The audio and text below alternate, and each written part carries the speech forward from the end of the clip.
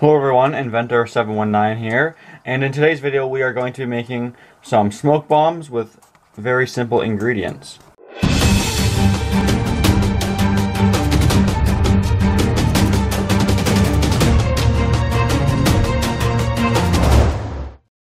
So for this project you will only need a few things. The major ingredient first of all is KNO3, also known as potassium nitrate. Um, this is sometimes found at hardware stores as stump remover. Just look it up. I'm in Canada, so I had to buy this online. And you will also need some white table sugar, some crayons or wax, some fuse, and to make it you will need a stove and a pan. The key to making a good smoke bomb is to measure the correct amount of ingredients. Now do this by weight, not by volume.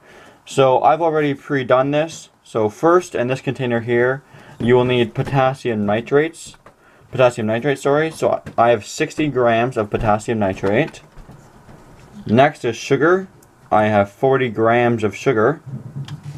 And in this box here is the wax in the form of colored crayons because crayons make cool colors as well. So you will need 30 grams of crayons. I have all blue crayons here for a cool effect. First step is to melt your crayons over the stove. So just heat up your uh, pan and put the crayons in. As you can see they melt nice and easily.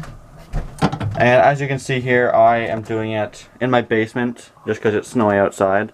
But you can do it outside using one of these portable stoves because being as though we're making something that is flammable, um, if it gets too hot over your stove, there's always the possibility it will catch on fire and uh, ignite a little earlier than you would like.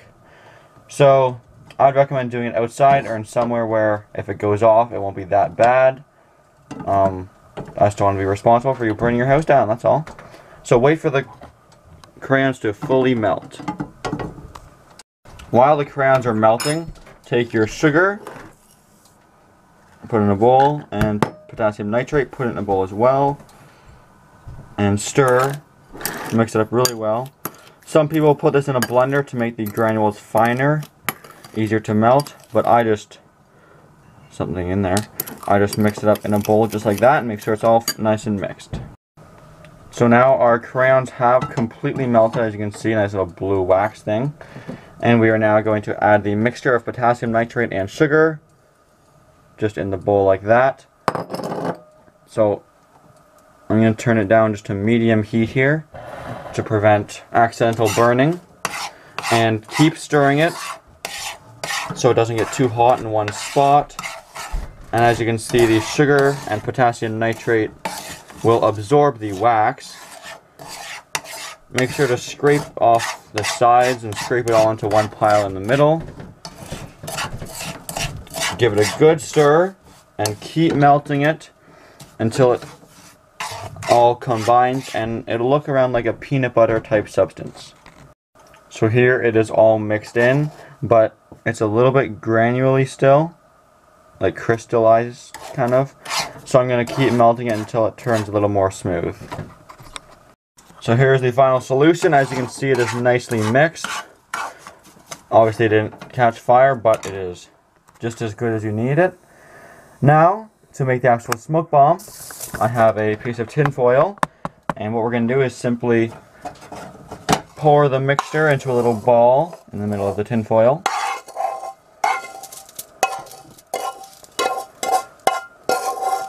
Like so. I may have grabbed a little bit too small of a piece of tin foil. I didn't realize how much I made. Well, we're going to have a big smoke bomb today, guys. And finish it off, put your wick in it. Not your wick, sorry, your fuse, much cooler.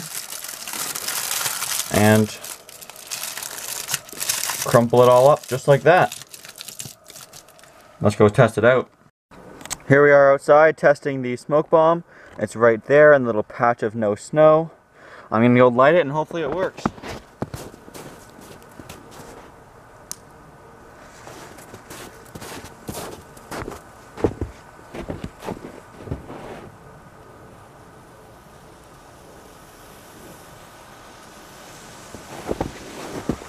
Getting some good smoking action.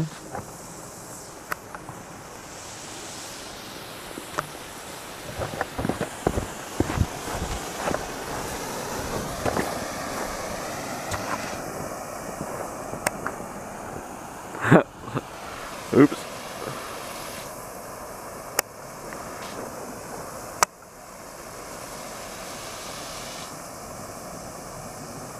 And wow, yeah, that's uh, not bad. Maybe I'll get some zoom in for you guys. Oh, it is now catching fire. Alright, so this is a little crazier than I thought it would be. It's kind of hard to see in the cloudy day, but it's pretty crazy if you can hear that.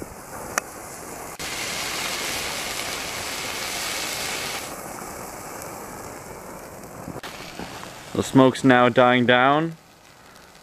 On my camera here I can see it's around a minute later which is absolutely crazy. Listen to it crackling. Wow, pretty cool. It's probably pretty hot too. That's I'm just putting snow on it. Alright guys, well that's how to make a smoke bomb. That was a lot more smoke than I thought it would be, but uh, still pretty cool. Thanks for watching everyone. As always, I hope you enjoyed the video. Please like, comment, and subscribe.